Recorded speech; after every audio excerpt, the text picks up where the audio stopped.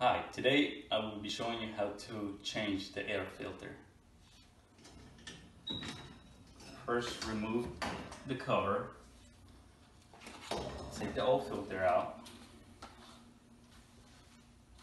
install your new filter.